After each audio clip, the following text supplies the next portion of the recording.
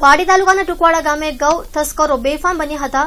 ગૌ તસ્કરોએ રાત્રિએ રસ્તે રખડતા કેટલાક ગાય અને વાછડાને નિશાન બનાવ્યા હતા. અને ઘેરના ઇન્જેક્શન મારી ગાય અને વાછડાને મૂર્છિત કરી તેમની હત્યા કરવામાં આવતા આ પંથકમાં ચકચાર મચી જવા પામી હતી.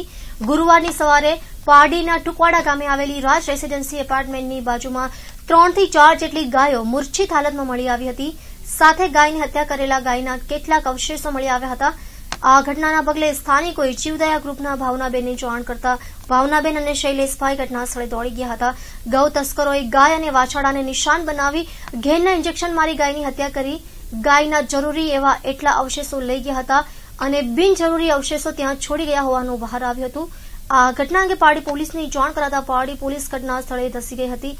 સાથે મૂછ ગાયોની સારવાર માટે ડોક્ટરની ટીમ પણ ધસી ગઈ હતી. મૂર્છિત ગાયોને સારવાર અપાઈ હતી જ્યારે હત્યા કરાયેલી ગાયને ગામ લોકોએ દફનવિધિ કરી હતી. શ્રાવણ માસમાં ગાયની હત્યાનો મામલો પ્રકાશમાં આવતા હિન્દુ સમાજની ધાર્મિક લાગણી દુભાઈ છે. ગામ લોકોએ આ ગૌ હત્યારાઓને પકડી પાડી કાર્યવાહી કરવાની પોલીસ સામે માંગ કરી છે. તો બીજી તરફ, પોલીસ પણ ગૌ તસ્કરી કે ગૌ હત્યા રોકવા નાઇટ પેટ્રોલિંગ સઘન કરે તે પણ જરૂરી છે. આજે રાત્રે જે અસામાજિક તત્વો દ્વારા હંમેશા ગાય અને વાછરડાને ઉપાડી જતાની ઘણી આપણે વલસાડ જિલ્લાની અંદર ટીમ સક્રિય છે. તો એ બાબતે આજે ટુકવાડા ગામમાં રાજવીર કોમ્પ્લેક્સની અંદર, કમ્પાઉન્ડની અંદર સવારે રાજવીર કોમ્પ્લેક્સના મેનેજરનો ફોન આવતા અમે સ્થળની મુલાકાત કરતા. બે, ત્રણ ત્રણ ગાય જેવી બેહોશ હાલતમાં હતી અને એક ગાય અથવા વાછરડું, મતલબ જે બી હોય મેલ ફિમેલ એમના કટિંગ કરેલા પાર્ટ્સ જે વેસ્ટેજ કચરો હતો આંતરડા અને એના જે લીવરના જે પાક હતા એનો કચરો અહીંયા મૂકી ગયેલા હતા અને જે એમને જરૂરિયાતની વસ્તુ એ લોકો લઈ ગયેલા હતા. અમને સૌ પ્રથમ સાડા છ વાગે રાજવીર કોમ્પ્લેક્ષના મેનેજર બાબુલાલનો ફોન આવતા અમે તાત્કાલિક સરપંચ સાહેબ યોગેશભાઈને ફોન કર્યો. ત્યાર પછી પાડી સાહેબ સોલંકી સાહેબને ફોન કર્યો. અને સોલંકી સાહેબે તાત્કાલિક એમની ટીમ અને એફએસએલની ટીમ અને ડૉક્ટરની ટીમને યોગ્ય ફોન કરીને સમયાંતરે સ્થળ પર બધા હાજર થઈ ગયા.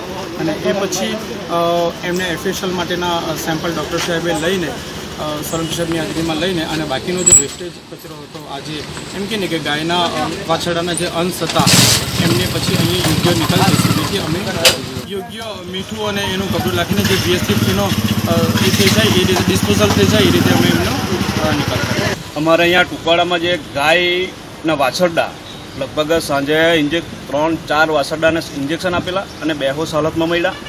ને સવારે અમને જાણ મળી ત્યારે એ વાછરડા બેહોશ હાલતમાં હતા અને એક ગાય યા વાછરડાનું એનું પેટ કાપીને એને, કાપીને એનું પેટ કાપીને એનું જે કંઈ એ આવે એનો પેટનો ભાગ એ કંઈ અહીંયા નાખી ગયેલા.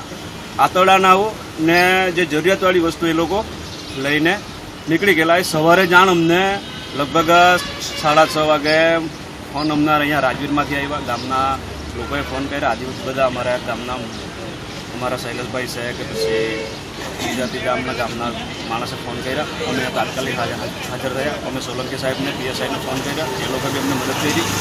અને અમૃતભાઈ અમારા સમાધાનને ફોન કર્યો. ને અહીંયા તાત્કાલિક આવીને ડૉક્ટર આવ્યા. ડૉક્ટર આવીને કંઈક સેમ્પલ લઈને ગયા છે. હવે સામે ડૉક્ટર સાહેબ એમ કહેશે કે ગાય છે વાસરડ છે એવું જાનવર છે જણાવશે. ને મોંઘું જાનવર છે ને આ જે કંઈ થઈ રહ્યું છે, એ પહેલાં બી અમારા ગામમાં કંઈક ઘણા એવા પ્રોબ્લેમ થયા. જ્યાં ગાયને લેવા માટે આવે. ત્યારે અમે ગામના માણસે બી ઘણી વોચ કરી. કે રાતના કોણ આવે, કોઈ ઈસમ આવે ને આનું ઇન્જેક્શન આપે ને કંઈ લઈ જવાની તૈયારી કરે, પણ થોડા ટાઈમ વચમાં બ્રેક થઈ ગયો ને અત્યારે પંદર દિવસમાં કયા આવો એક બનાવ. ભાઈને જે અમારે ખૂબ જ એક ખતરનાક બનાવ કહેવાય ને, બહુ ગંભીર બાબત છે ને, એના પર પૂરું ધ્યાન લેવાનું છે. ને આ જે કંઈ થયું એ ખૂબ જ દુઃખ ભરેલી વાત છે.